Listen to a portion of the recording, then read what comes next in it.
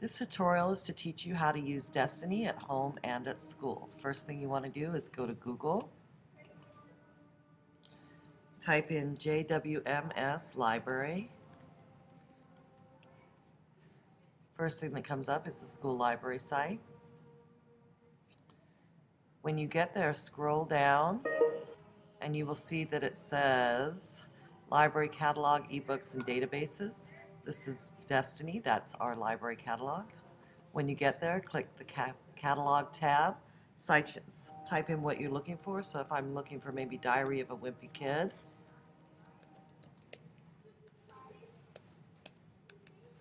I type it in and I can see that I have lots of different types. Look for the one you're looking for. Make sure you check the side right here. It tells you if it's available. This is not available, but these are. I have copies available. Then you want to look over here at the call number. If it's got a P, that means it's in the paperback section.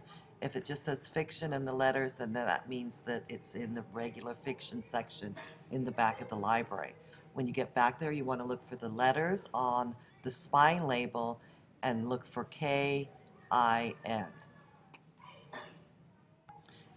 With the catalog, you can also search for topics. Let's say I'm interested in rabbits and I want to look for information on rabbits. I type in what I'm looking for, hit the enter key or keyword, either way. Wait for it to load and then it will bring up everything I have on rabbits. Again, you want to look at the call number. This says it's a VHS. We're not looking for VHSs, so we'll scroll down past those and we'll see, and we can tell it I don't want all those VHSs, so let's refine the search. I can say I want books. So I go over here and I'll tell it just look for books. Now I get all our books. Here it says it's got a fiction book on rabbits. This one is um, also looks like an old legend. Here we go, looking on information. You look at the call number, you can tell me if it's fiction or not. Here we go, Dear Rabbits in the 599s, that's the animal section, would be where I would find books on rabbits. So maybe I want to define my search a little bit more because that gave me way more information than I needed. So I'm going to refine my search. Um, rabbits and maybe put animals. Still giving me more. So that's still not working, so maybe I want to be more specific and come up with maybe rabbit habitats. And see what that gets me. Ah, pet rabbits. So that gives me a little bit more specific information about rabbits and where to find them. This is in the nonfiction, so it gives me a number here, 636.9. So I want to look in the red section at the back of the library and find 636s, then the 0.9, and then look for the letters, and that'll get me right to my book. We also now have a lot of ebooks at James Workman, so we can also make our search by the type of material we want, as we did earlier with rabbits.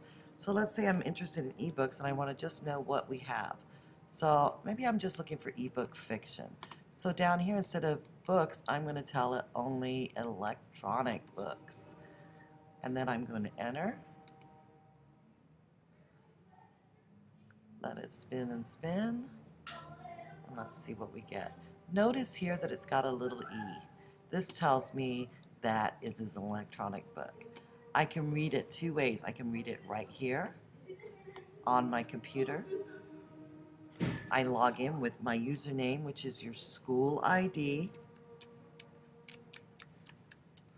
And then your six-digit birthday. If you are born, however, January through September, it dropped the first zero, so it's your five digit. So my birthday is 32702. I instead of putting 03, I'm going to put 32702. Then I'm going to log in. Okay, once I log in, it's going to tell me what books are available, and as you can see, I have quite a few books. I can read them online, or I can check them out. So if I'm interested in reading The Fire, I just hit checkout hold, and then it will bring up the book. I don't want to do that because I'll take it out of circulation. We also have an app called Enlight K12, E N L I G H T space K 12. You can download that app right on your device, smartphone, iPad, Android device, and same username, your school ID, and your five digit password. And then you have to put in the HTT code, which is WBB30360. WBB30360.